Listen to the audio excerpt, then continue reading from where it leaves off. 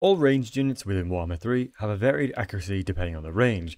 This is called calibration distance. So the closer a unit gets, the more accurate you become. This is often why it's a waste to allow units to shoot at their max range, because the area of effect in which their projectiles can land is quite large. As you can see here in front of us, the grey circle is pretty big, and the closer they get, it reduces.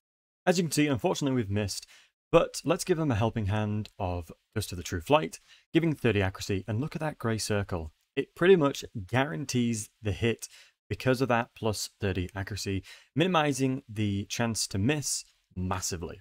Every single ranged unit is applied with this, so even if you give it to like a Streltsys, for example, uh, with their additional range, they will still be able to hit, and you can see here, even the unit miles away has a very accurate chance of hitting. To summarize, 75% of your effective range is where you are the most deadly due to calibration distance, but accuracy basically makes it so that you can hit significantly easier even at range.